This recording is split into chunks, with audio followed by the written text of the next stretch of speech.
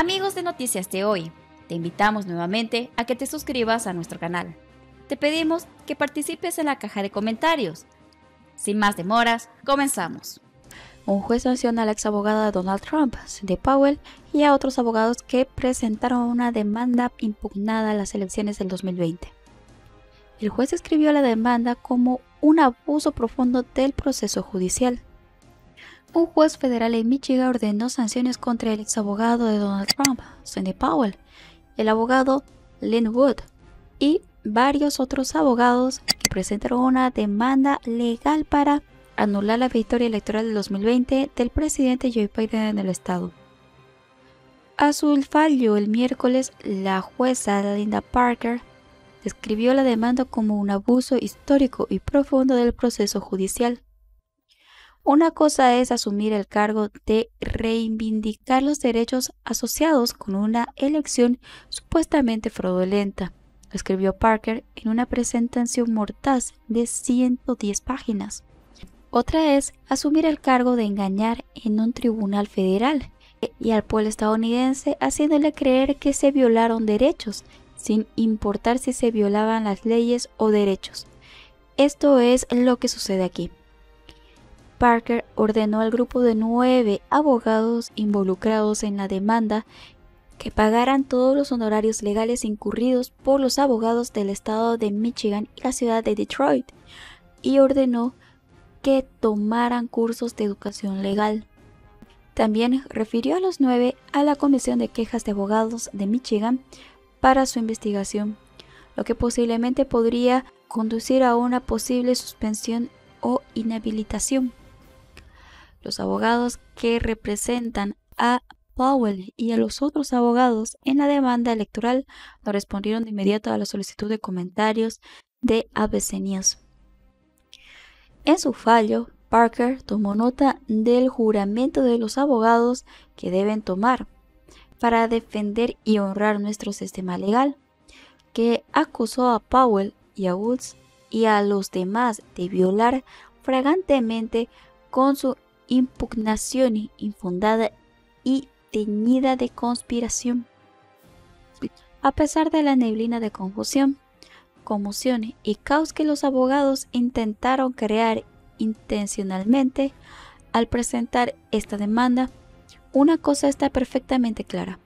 Los abogados de los demandantes han despreciado su juramento, desobedecido las reglas y han intentado socavar la integridad del Poder Judicial a lo largo de la, escribió Parker, porque también apuntó directamente a la defensa ofrecida por Powell de que personas razonables no aceptarían sus declaraciones sobre las elecciones hasta que fueran probadas en los tribunales. No es aceptable sustentar una demanda con opiniones que los abogados mismos afirman que ninguna persona razonable aceptaría como un hecho y que era inexactas, exageradas e hipérbolas, dijo Parker. Tampoco es aceptable utilizar el Poder Judicial Federal para un foro político para satisfacer la agenda política de uno. Tal comportamiento por parte de un abogado en un tribunal de justicia tiene consecuencias. Parker criticó las declaraciones hechas por los abogados que afirman que seguirían presentando las mismas quejas incluso dado los eventos del 6 de enero cuando una turba de partidarios de Donald Trump atacaron el Capitolio de los Estados Unidos, incitados por afirmaciones falsas de una elección robada. Se debe considerar que un abogado que voluntariamente continúa haciendo valer reclamaciones condenadas al fracaso y que han incitado a la violencia antes, está actuando con un motivo inapropiado, dijo Parker. Entre otras noticias, juez dictamina que el gobernador de Texas no puede hacer cumplir la prohibición del mandato de máscaras.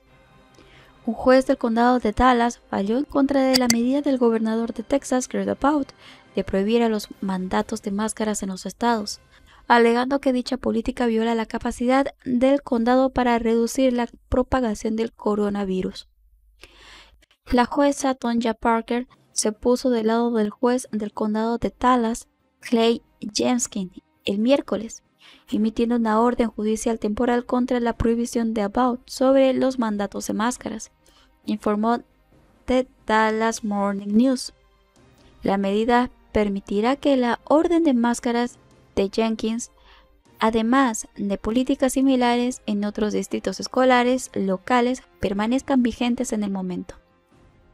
Jenkins ahora tendrá la capacidad de imponer sanciones a las personas que no cumplan con la política del condado, que requiere que se usen máscaras en negocios, escuelas y edificios propiedad del condado, según The Dallas Morning News. Parker escribió en el fallo que Jenkins probó que los residentes del condado de Dallas sufrirán probablemente lesiones inminentes e irreversibles a través de la imposibilidad del que el juez del condado Jenkins ejerza su autoridad para exigir máscaras en público, informó ABC Night WFAA. La controversia en Dallas comenzó cuando el comisionado J.J. Koch presentó una demanda contra Jenkins a principios de este mes después de ser sacado de una sala del tribunal por negarse a usar una máscara. Jenkins respondió presentando una demanda contra About por una orden ejecutiva que firmó que prohibía los mandatos de máscaras. La orden judicial temporal, sin embargo, probablemente será apelada ante la Quinta Corte de Apelaciones de Dallas y luego ante la Corte Suprema de Texas antes de que se tome una decisión final, señaló The Dallas Morning News. La oficina de About dijo en un comunicado a The Hill que creía en la capacidad del fiscal general del Estado para defender la orden ejecutiva.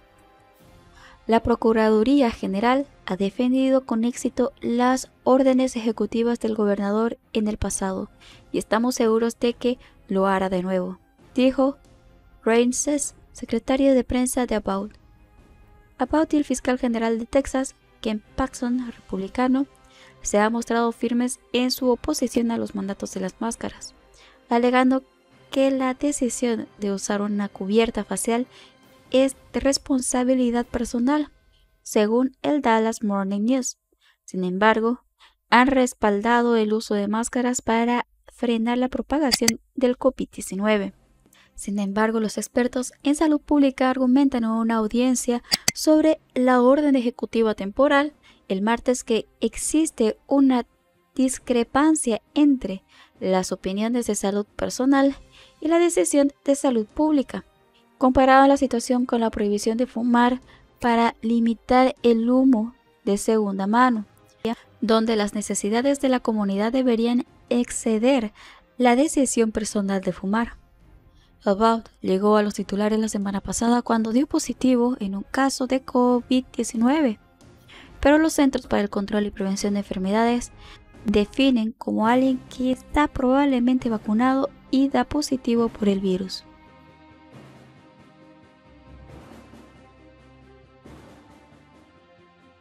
Eso es todo por ahora. No olvides dejar tu comentario y suscribirte. Hasta el próximo video.